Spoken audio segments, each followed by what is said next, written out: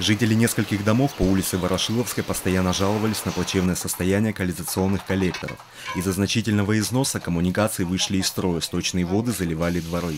Специалисты Сочи водоканала заменили 125 метров канализационного коллектора. Данная технология использует э, установку, американскую установку Триктус, которая позволяет бестраншейным методом, бестраншейным методом заменить старые разрушенные трубы, протягивая новый полиэтилен, более долговечный материал, который послужит еще не один год этому городу.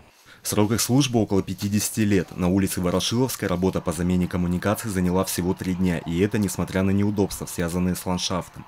Весь материал и технику рабочие переносили вручную.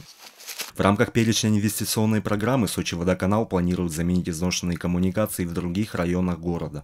В рамках инвестиционных мероприятий Сочи Водоканал выполняются обширные перекладки системы водоснабжения, системы водоотведения. В основном это касается так называемых зон международного гостеприимства.